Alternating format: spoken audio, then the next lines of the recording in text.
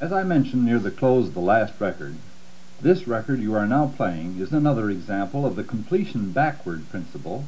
If you can possibly manage the time, please play both sides at one meeting.